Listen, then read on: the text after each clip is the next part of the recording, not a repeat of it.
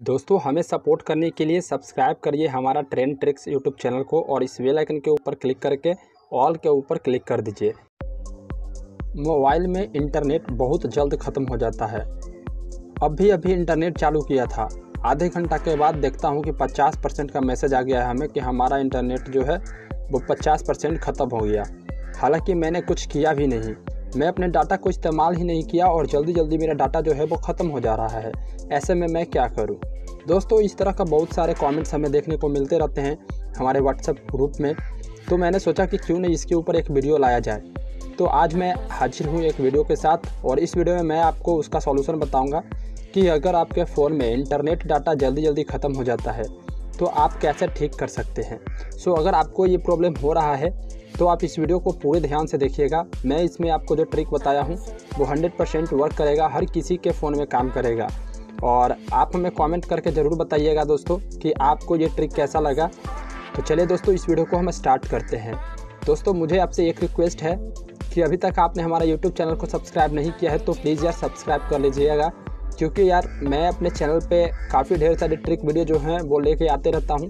तो आप मेरे ट्रिक वीडियो को देखना पसंद करते हैं तो चैनल को सब्सक्राइब ज़रूर करिएगा। तो देखो यार इंटरनेट डाटा कैसे बचाते हैं, उसके लिए आपको एक सेटिंग्स करना पड़ेगा। सो उसके लिए आपको सेटिंग्स में आना है, अपने फ़ोन की सेटिंग्स में। इसके बाद आपको नीचे स्लाइड करना है।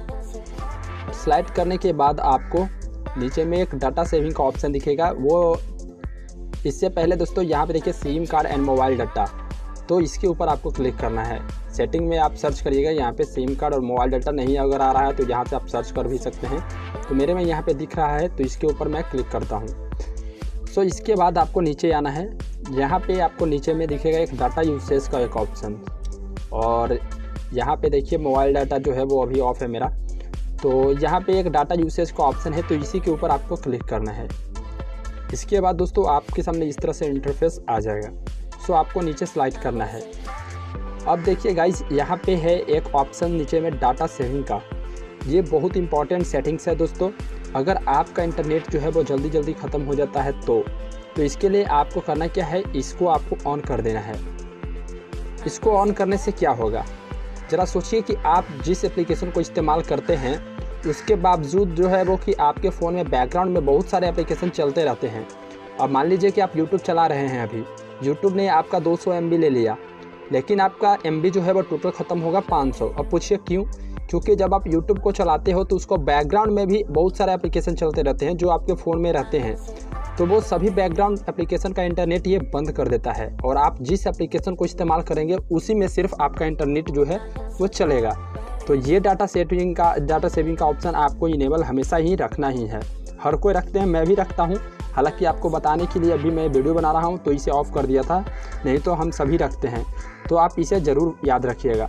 ये सेटिंग तो हो गया। एक बहुत ही ज़बरदस्त और वो काफ़ी अमेजिंग मानी जाती है दोस्तों, क्योंकि हर किसी के फ़ोन में ज़्यादा इंटरनेट ख़त्म होने का कारण वही है।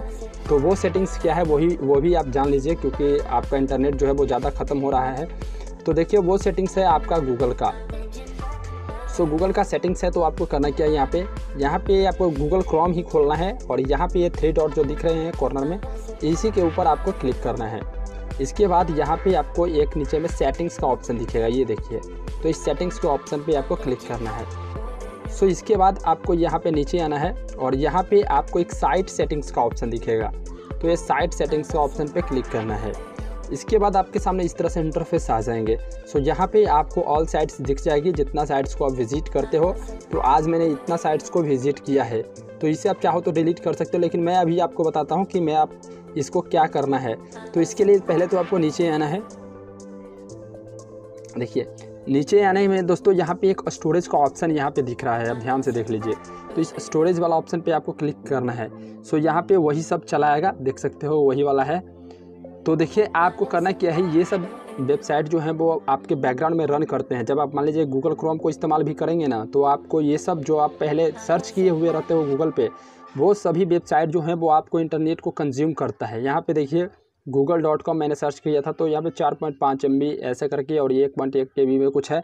यानी कि मैं आज तो उतना इंटरनेट चलाया ही नहीं हूँ, इसीलिए जो है वो इतना सारा ही है। नहीं तो आप सब तो दिन भर चलाते रहते हो तो आपका पूरा का पूरा पेज जो है वो भरा रहेगा।